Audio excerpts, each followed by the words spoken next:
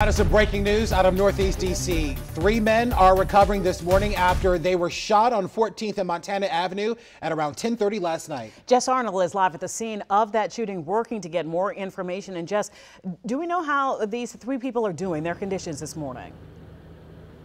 Yeah, our desk spoke with police just less than two hours ago. They said that one man is still in critical condition. The other two, however, are in non-critical condition, again, as of about two hours ago. Now, evidence teams out here at the scene just left within the last 30 to 45 minutes. We're here at Saratoga and Montana Avenues Northeast. Let me give you a quick look at the scene as we're seeing it here early this morning. Now, we're going to give you a look at some footage from right after the shooting happened last night. Again, that's about six hours ago. Police say shooting was called in around 1030 last night near the intersection of 14th and Montana Avenue Northeast. Now, when they arrived, they found three men with gunshot wounds. One was not breathing at the time, but again, at last check, all three are still alive, one remaining in critical condition. Now, police said they also found 30 plus shell casings around the scene throughout the night, and they tell us some cars and buildings were even hit by bullets. Now, as you can see, there are still police out here. Some of these roads are still blocked off, so we'll, of course, continue to update that for anyone who has to leave out for work in a bit.